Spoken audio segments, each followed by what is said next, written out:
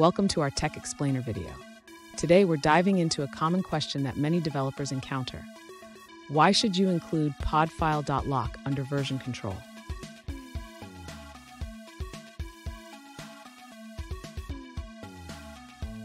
Let's set the stage.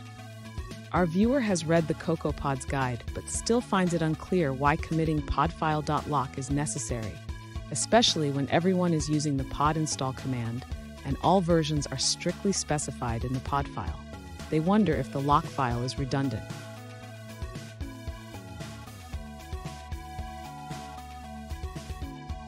To illustrate the point, they provide an example involving ReactiveSwift, which depends on the result pod.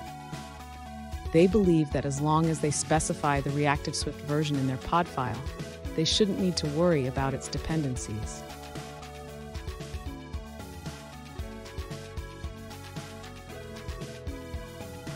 Viewer outlines a simplified workflow where they develop features, update the pod file directly, and rely on CI to run pod install without ever committing the podfile.lock. This raises the question, is podfile.lock really needed in this scenario?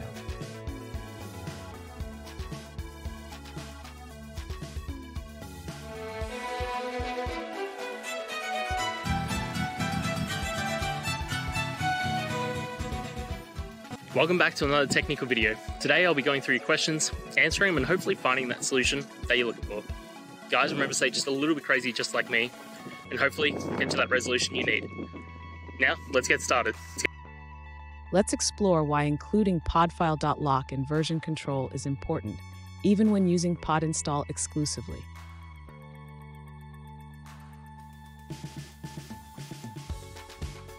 When you run pod install, it reads the podfile.lock to determine the exact versions of dependencies to install. This guarantees that everyone on your team is using the same versions.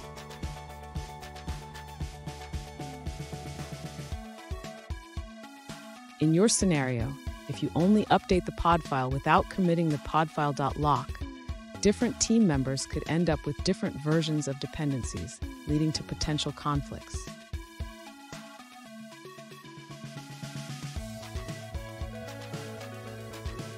Moreover, if a dependency like ReactiveSwift updates its own dependencies, having the podfile.lock ensures that your project remains stable by locking those versions.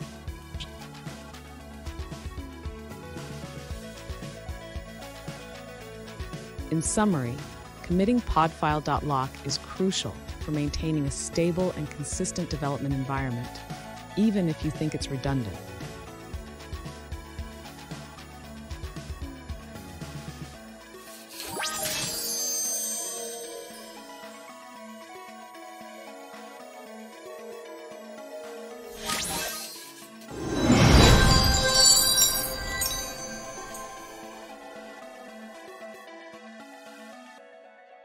Let's now look at a user-suggested answer.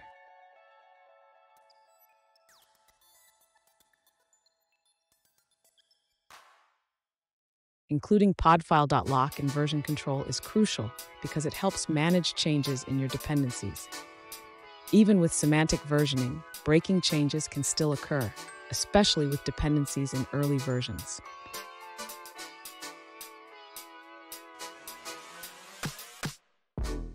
Without podfile.lock, your application might crash or fail to build when a new developer clones your repository, or when you try to reproduce a bug reported by a customer.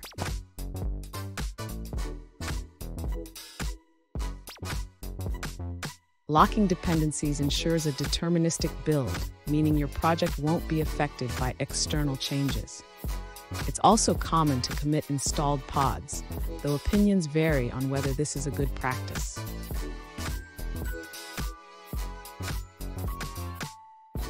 And that's it, guys. I hope we found the solution you're looking for. And look, if we did, please hit the subscribe button. I'd really appreciate it. And until the next time you need technical help, I hope you have a good one.